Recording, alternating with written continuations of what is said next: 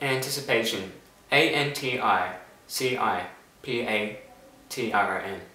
This word is used as a noun. The meaning for this word is the entertainment of anticipating. An example sentence is, he looked forward to the event with anticipation.